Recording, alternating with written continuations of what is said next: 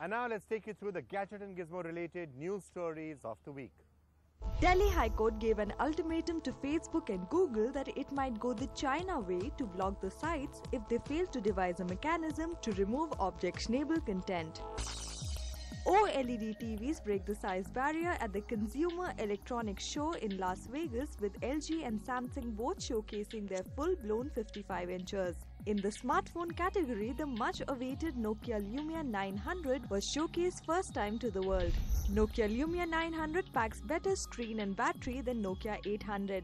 And amidst the array of ultrabooks, HP Spectre grabs all the eyeballs for thinness and top line specs. For more on CES 2012, watch a special on Gadget Guru next week. NDTV's Cricket app, Android and iPhone. Fastest scorecard, special analysis, and much more. Download free. ndtv.com slash apps.